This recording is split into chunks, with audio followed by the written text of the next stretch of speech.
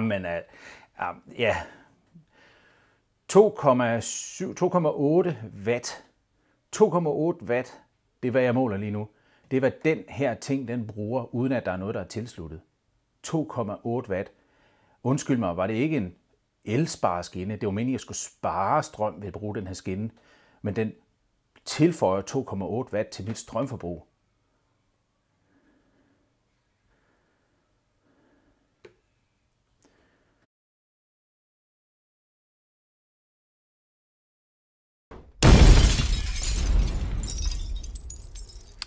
Nå, øh, sidste ting jeg lige vil prøve, det er at øh, se om øh, den her plastik, den faktisk, øh, om den, den er, er brandhæmmende eller ej.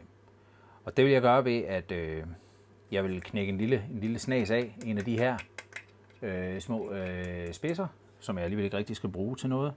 Og så vil jeg prøve, om jeg kan tænde ild til den, og hvis jeg tænder ild til den, så ser jeg, om der er sådan, at den kan brænde sig selv, når der er sådan, at jeg fjerner flammen. Hvis den kan det, så, øh, så er det ikke brandhæmmende plastik, og dermed så er risikoen ved produktet steget betragteligt. Øh, vi får se. Jeg prøver at klippe en snas af, og så prøver jeg at tænde ild til den.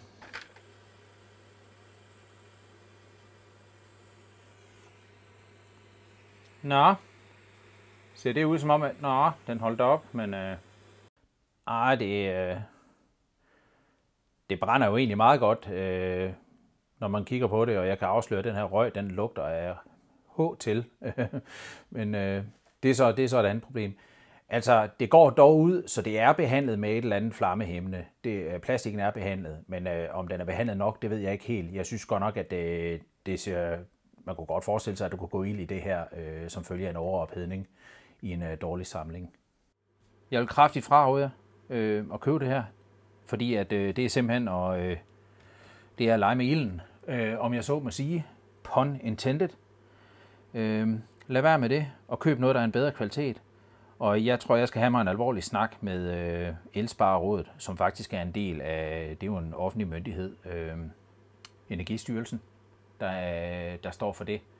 Øh, jeg kan ikke rigtig øh, acceptere, at øh, de anbefaler øh, sådan et produkt her, fordi at så putter de jo sådan set deres navn bagved, øh, og det er, det er sgu ikke i orden. Jeg har øh, gjort forhandleren af det her produkt opmærksom på problemet. Øh, det er AV Cables, jeg købte det fra.